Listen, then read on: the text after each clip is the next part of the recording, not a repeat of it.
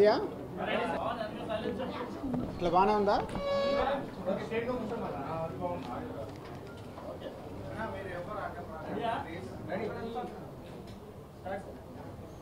అందరికి నమస్కారం. ఒక landmark film Mahesh Babu గారి కెరియర్లో ఒక ట్వంటీ ఫిఫ్త్ ఫిలిం ఇక కొన్ని గంటల్లో ప్రపంచవ్యాప్తంగా ప్రేక్షకులు చూడబోతున్నారు. సో మన ప్రీ రిలీజ్ ఈవెంట్లో నేను చెప్పినట్టు మహేష్ బాబు గారి కెరియర్లో కొన్ని టాప్ ఫిలిమ్స్ ఉన్నాయి. అలాగే ఈ మహర్షి కూడా ఆ టాప్ ఫిలిమ్స్ పక్కన నిలబడబోతుంది. సో ఆ ప్రే ఫ్యాన్స్కి కూడా నేను ఆల్రెడీ చెప్పాను మీరు ఎంత ఆశ ఉందో ఈ సినిమా సక్సెస్ కావాలని అంత కోరుకోండి అని. అది నేను ఓవర్ కాన్ఫిడెన్స్తో చెప్పింది కాదు. ఈ సినిమాతో నా ట్రావెల్ కానీ ఆ కథ విన్నప్పటి నుంచి నేను నా జర్నీ స్టార్ట్ అయింది. అలాగే ప్రీ రిలీజ్ ఈవెంట్ కంటే ముందే నేను ఫుల్గా సినిమా కూడా చూడడం జరిగింది. మళ్ళీ త్రీ డేస్ బ్యాక్ కాపీ వచ్చాక కూడా సినిమా చూశాను.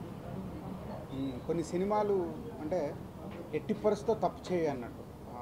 అది అలాంటిది ఒక స్టార్ సినిమాకి కావలసిన గ్రేట్ మూమెంట్స్ ఏదో సినిమా చూసాము ఆ, బాగుంది హీరో బాగా చేశాడు అనేది కాకుండా ఈ సినిమాలో చాలా చాలా చాలా ప్రత్యేకతలు ఉన్నాయి. అది రేపు అది ఎక్స్పీరియన్స్ మీకు. సో కొన్ని సినిమాలు నేను చూసినప్పుడు వేరే సినిమాలు చూసినప్పుడు కూడా ఒక సినిమా అయిపోయే టైంలో ఒక ఫీలింగ్ ఉంటుంది వావ్ ఎంత మంచి సినిమా చూసాము ఎంత మంచి సినిమా తీశారు అని. ఇది నా సినిమా కాకుండా ఈ సినిమా చూస్తే నేను సేమ్గా ఫీల్ అయ్యేవాడిని. మా బ్యానర్ ఇక్కడ లేకున్నా ఈ సినిమాతో కాకుండా వేరే ఏ ప్రొడ్యూసర్ తీసినా ఈ సినిమా చూస్తే నేను అలాగే ఫీల్ అయ్యేవాడిని. సో అంత గ్రేట్ ఫిలిం కాబోతుంది. సో ఇంకా కొన్ని అవర్స్లో ప్రేక్షకులు చూస్తారు. అండ్ అశ్విని దత్ గారు మే నైన్త్ మళ్ళీ దత్ గారి పేరు వైజయంత్ మూవీస్ కూడా ఈ సినిమాతో అసోసియేట్ అవ్వడం మే నైన్త్ దత్ గారికి జగదేక అతలోక సుందర్ కానీ మహానటి కానీ నెక్స్ట్ మహర్షి ఆ డేట్ మ్యాజిక్ ఉంది దత్ గారికి అలాగే పీవీపీ గారు సో ఒక సినిమా అనేది ప్యాషన్. సో ట్వంటీ ఫిఫ్త్ ఫిలింకి మేము ఈ త్రీ ప్రొడక్షన్ హౌసెస్ తీయడం ఇదొక గ్రేట్ ఎక్స్పీరియన్స్. అండ్ ఇంకా వంశీ గురించి నేను ఏం చెప్పినా తక్కువే. ప్రీ రిలీజ్ ఈవెంట్లో చెప్పినట్టే వంశీ టాప్ డైరెక్టర్స్లో ఒక డైరెక్టర్ కాబోతున్నాడు ఈ సినిమా రేపు కొన్ని గంటల తర్వాత.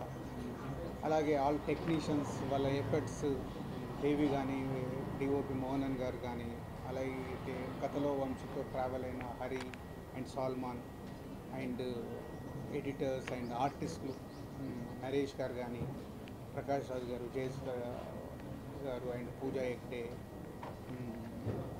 అండ్ రఘుపతి బాబు గారు ఇట్లా నంబర్ ఆఫ్ ఆర్టిస్టులు కూడా ఉన్నారు. ఎవ్వరు ఎంత పార్టిసిపేషన్ ఉండాలో ఈ సినిమాలో అంత పార్టిసిపేషన్ ఉంటూ ఒక మ్యాజిక్ ఒక మ్యాజిక్ ఫిలిం అంటే రేపు చూస్తారు మీరు. ఇది ఇప్పుడు కూడా నేను ఓవర్ కాన్ఫిడెన్స్గా చెప్పట్లేదు. నా నమ్మకం అది.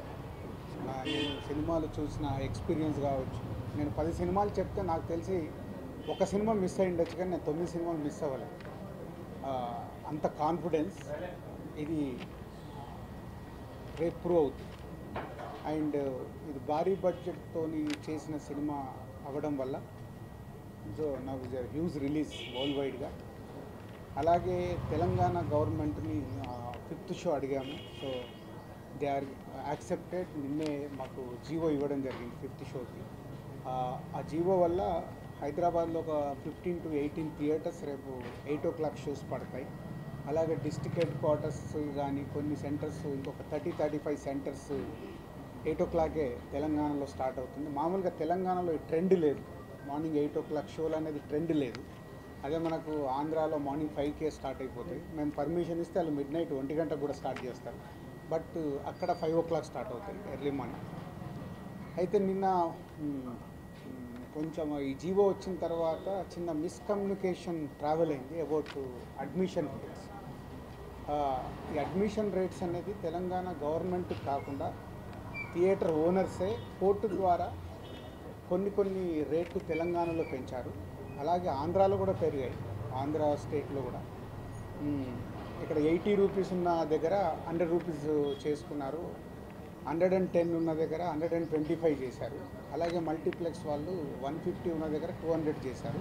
వీళ్ళందరూ కోర్టు ద్వారా తెచ్చుకుంది అలాగే మనకు రాజమండ్రి తీసుకుంటే అక్కడ సింగిల్ స్క్రీన్స్లో టూ హండ్రెడ్ రూపీస్ ఉంది. విజయవాడ కానీ గుంటూరు కానీ నెల్లూరు కానీ వైజాగ్ కానీ ఇలా కర్నూలు కానీ ఎక్కడ చూసినా అక్కడ టూ హండ్రెడ్ ఉంది. సో అక్కడ అలవాటు. తెలంగాణలో కంపారిజన్గా ఇప్పుడు మనకు పక్క సెంటర్స్ చూసుకున్నప్పుడు తెలంగాణలో highest is single screens one twenty five అలాగే మల్టీప్లెక్స్లు బెంగళూరు తీసుకుంటే మనకు weekends three hundred five hundred వాళ్ళకి ఆ ప్రొవిజన్ ఉంది. మన తెలుగు స్టేట్స్లో అది లేదు. మనకు ఒక లిమిటేషన్ ఉంది. కాబట్టి ఇలాంటి పెద్ద సినిమాలు వచ్చినప్పుడు సో ఈ బడ్జెట్ ఎక్కువ అవుతున్నప్పుడు సినిమాకి రెవెన్యూ జనరేట్ చేయడానికి ఉన్న ఆ స్కోప్లో ఎగ్జిబిటర్స్ ద్వారా ఇది ఎప్పటి నుంచో జరుగుతుంది ఇది. కోర్టు ద్వారా కొన్ని కొన్ని రేట్లు ఇంక్రీజ్ అవ్వడం జరిగింది. పోతే నిన్న చాలా మీడియాలో తెలంగాణ గవర్నమెంట్ రేట్స్ హైక్ ఇచ్చిందనేది ఒక రాంగ్ న్యూస్ వెళ్ళింది. ఇది కోర్టు ద్వారా వచ్చింది. తెలంగాణ గవర్నమెంట్ ఏమో ఫిఫ్త్ షో పర్మిషన్ ఇచ్చింది. సో నేను మీడియా ద్వారా అందరికీ తెలియజేయాలనుకున్నాను. So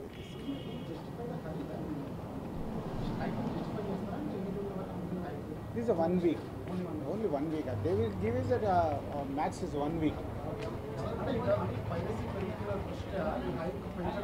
so నా ఈరోజు సినిమా అనేది మన అందరం చూస్తున్నాము. ఒకప్పుడు ఒక సినిమాకి జర్నీ ఒక సక్సెస్ఫుల్ సినిమా ఒక గ్రేట్ సినిమా వస్తే సిల్వర్ జూబ్లీ ఉండేది. అది కాస్త హండ్రెడ్ డేస్ అనేది అయిపోయింది.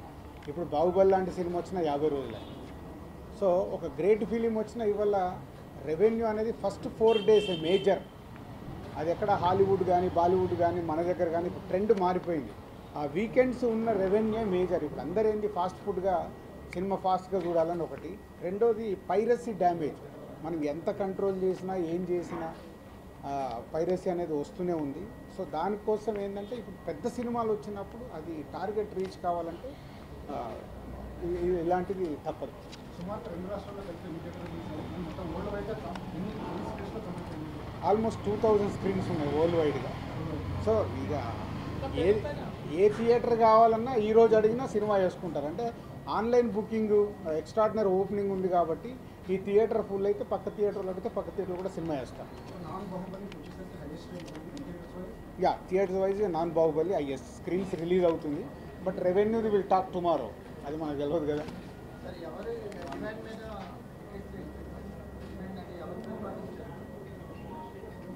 ఇది ప్రతిపాదించేది ఏం లేదు. మీకు ఇప్పుడు మనకు ఆంధ్రప్రదేశ్లో ఇది సంక్రాంతి ఉంది. సంక్రాంతి కూడా అన్ని సినిమాలకు పెరుగుతాయి. పెద్ద సినిమా రిలీజ్ అయినప్పుడు ఎప్పుడు ఉంటుంది. కానీ తెలంగాణలో లేదు ఇంతకుముందు సో ఇప్పుడు తెలంగాణ ఆ, పక్క రాష్ట్రంతో పక్క జిల్లాలతో కంపారిజన్ చేసినప్పుడు సో ఇక్కడ అట్లీస్ట్ అందరు మా క్వశ్చన్స్ అన్నట్టు రెండు వందలు నూట యాభై అక్కడ ఉన్నప్పుడు ఇక్కడ ఎనభై రూపాయలకు అమ్మడం ఏంటి? సో అది ఎగ్జిబిటర్స్ నడితే ఎగ్జిబిటర్స్ ద్వారా వాళ్ళు చేసుకున్నారు. థియేటర్ వైజ్ ఇండివిజువల్ ఇది. It's not a group theatre వాళ్ళే తెచ్చుకుంటారు.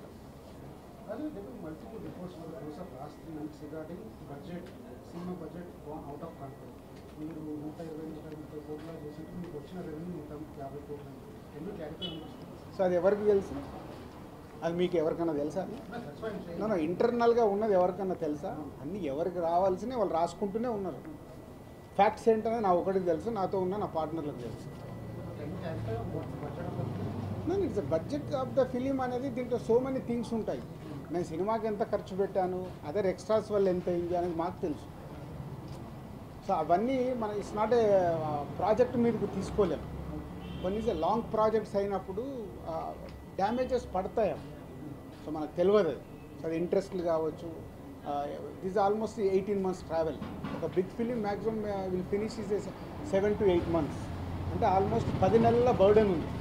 సో పది నెలల శాలరీస్ కట్టాలి పది నెలల ఇవన్నీ ఉంటాయి. ఇవన్నీ మనం ప్రాజెక్ట్ మీదకి ఫిగర్స్ కనిపిస్తాయి కానీ సినిమా మీదకి వచ్చేది కాదు. So that is a logistics. So ట్రావెల్లో తప్ప ఇవన్నీ it's experience. Okay? Thank you. రేపు మార్నింగ్ కుమ్మేయండి చూసాక